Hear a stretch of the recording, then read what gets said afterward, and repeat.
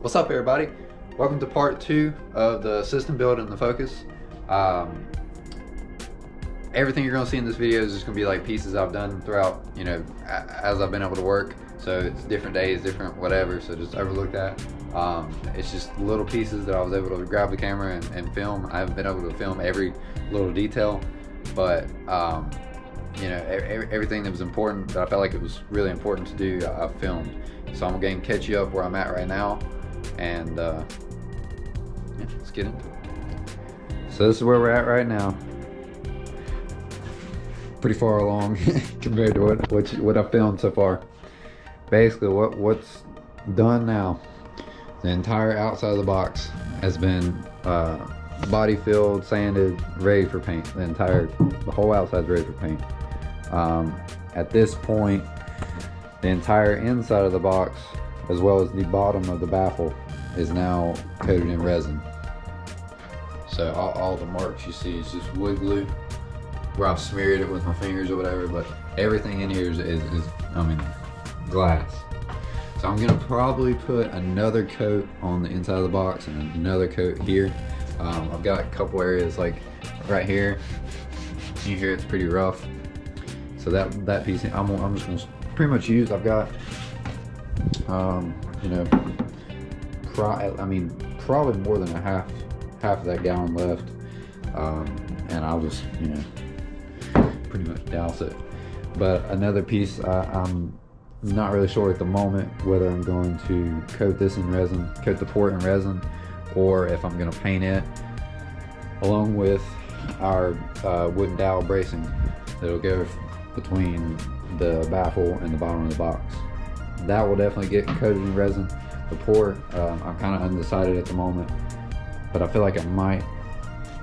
I'll, I'll, probably end up doing the outside of the port. So the, I mean, this will be the inside of the port when it slides in. So as it's in there, it's nice and strong and smooth, just like the the rest of the inside of the box. So what I'm gonna do right now is flip the box up, straight up like it's gonna sit. Uh, go ahead and lay the baffle up on top, get a sub dropped in it, and I'm gonna start kind of plotting out the height of my port um, because I don't want the port to come in contact with the, the, bottom of the basket. I've also I'm thinking about you know future if I want to upgrade to uh, uh, beefier 10 or 10s um, with a, with a bigger motor magnet whatever. Uh, I don't want that to to factor in with the port. So just thinking ahead. Kind of handful of move back.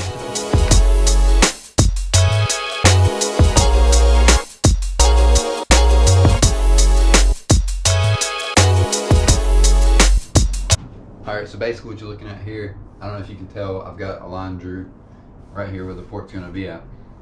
Um, I can put this, you know, at, at, any height on this side of the box. Like I said, my worry, I, ideally, I want it centered, but with the motor hanging down, I don't want it to ever come in contact with the top of the port because the port's going to be, uh, I think it's 23 inches, is, has, has it tuned at uh, 28 hertz. So it's already cut to 28 inches. It's going to be 28 inches deep. So you're going to have at least four subs that are going to be close to it. So basically what I need to decide is where I want to put it here. If I want to put it centered like it is, like I've got it drawn out, or if I want to move it down just in case I decide to upgrade subs later on and use the same enclosure. Um, so just some things to think about. Here's one of the SDR 10s that we're going to be using.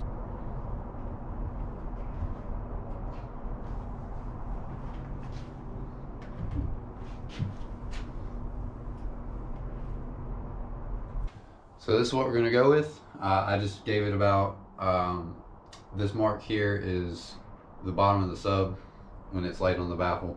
So it'll end up having about two and a half inches of uh, room here. So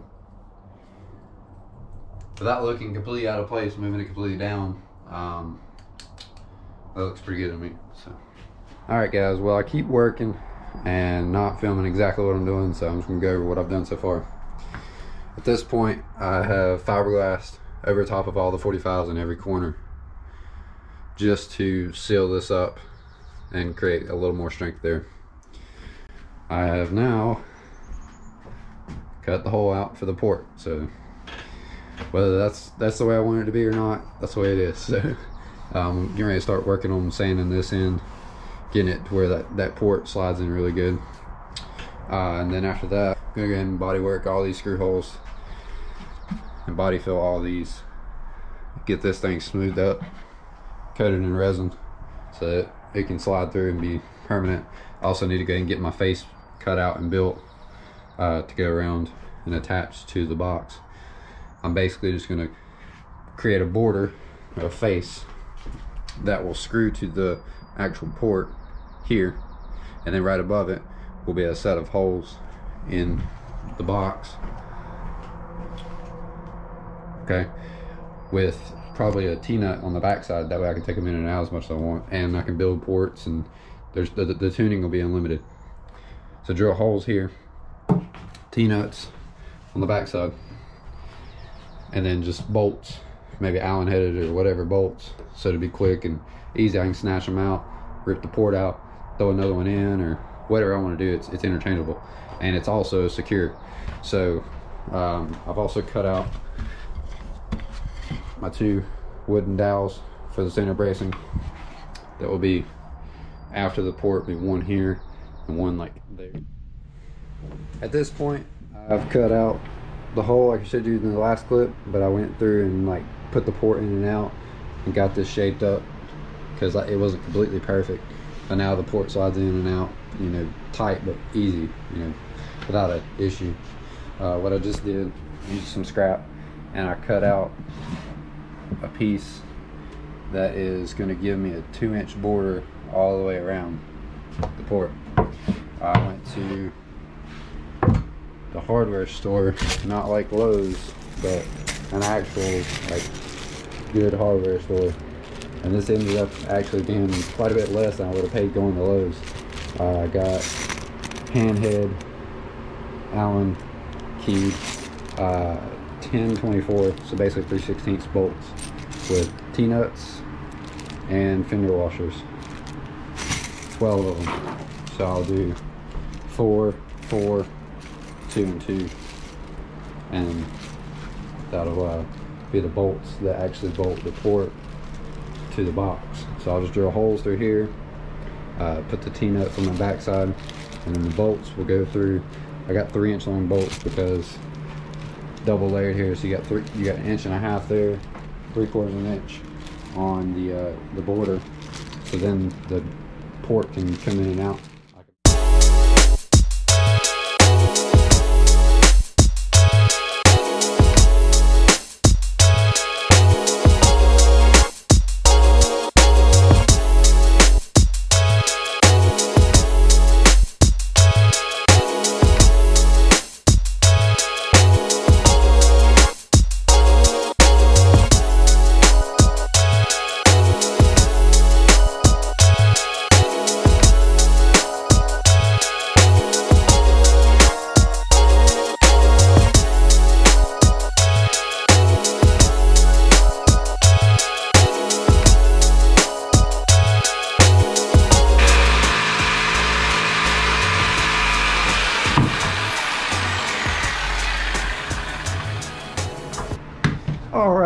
so now I've got face is now glued and screwed to the port with the rounded edges.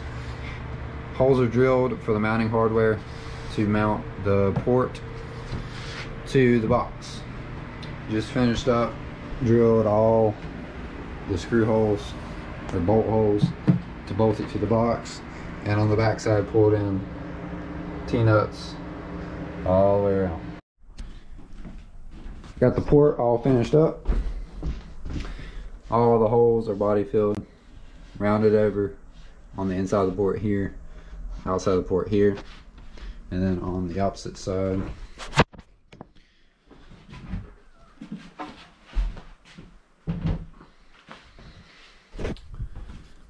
Here as well. So, round over on the inside here, all the way around uh, getting ready to I've already pilot drilled holes these are dead in the center I can only fit two. I'll do one in between these subs, one in between here, because this line right here marks the end of the port. So when the port slid all the way in and secured, this is where it'll sit. So I, really, I mean, I could put one here, but I mean, it's right next to that one. So I mean, uh, the bracing's probably not even needed, but I'm just doing it anyways. So I'm just gonna show you what I'm doing here.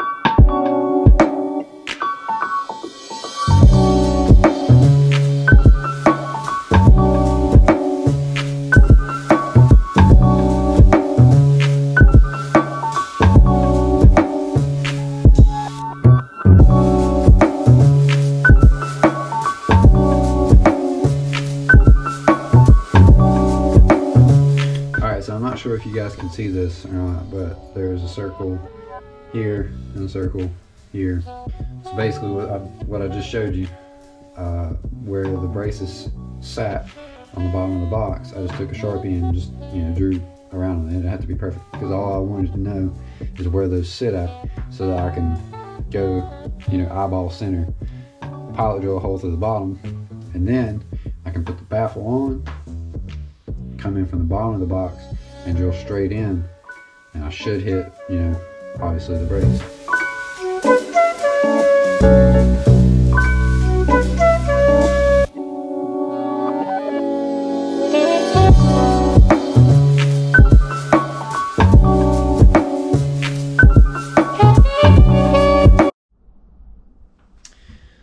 Alright guys, it's the next morning.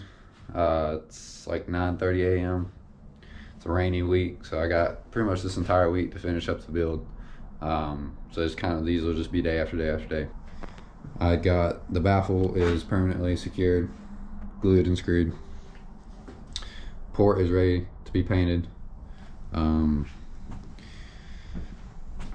goal for today is going to be to go around the baffle and sand it, get it body work. If I have to add any filler anywhere, I will. Uh, another trip to Lowe's. Starting to do some of the painting. I've, I've painted the, or uh, primed the face of the port and put a coat on the inside. Um, I got some actual mixing cups so I can start thinning out the black when I go to paint it. And I've just got this old uh, screw screw bolt bin, whatever, uh, full of paint thinner so I can clean my brushes and stuff. Uh, I've just been painting out of a plastic bowl. Got some paper, some uh, paper so I can tape up uh, all the resin areas, and also I started taping off on the inside of here, on the where the subs go. Uh, just taped around the rings, and then I'll go on the underside and tape, um, you know, paper. So from the inside, that way, all the resin that's on the inside, none of that'll get paint on it.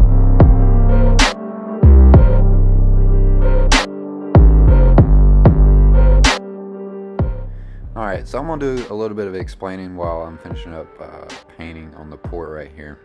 Um, basically, I got to the point where I just continued working and not filming. Um, so I ended up finishing the entire project and I've already moved on, believe it or not. Um, so I'm just going to input some pictures that I, I took while I was finishing the build uh, and kind of explain what they are and where it's at now. So here we got the port that got painted up.